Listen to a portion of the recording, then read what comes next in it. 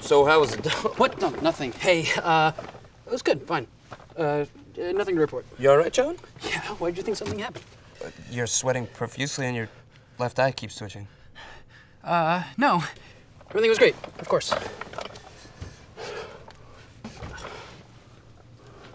Did you see that? Oh, God. Are they heading to the bathroom? Dude, what the hell kind of dump did you leave them in there? I mean, I've heard of giant dumps before, but this is ridiculous. Okay, okay. I know, I know, I'm sorry, this is gonna sound really bad, but um, Janice came in and he was going crazy and he was pounding on the door and then I think he fell in the stall next to me. And you just left him in there.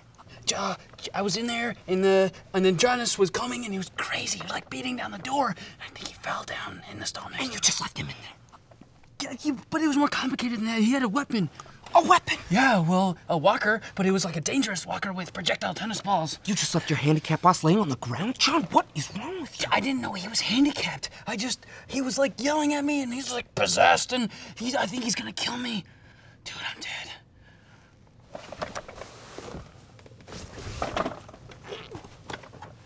Uh,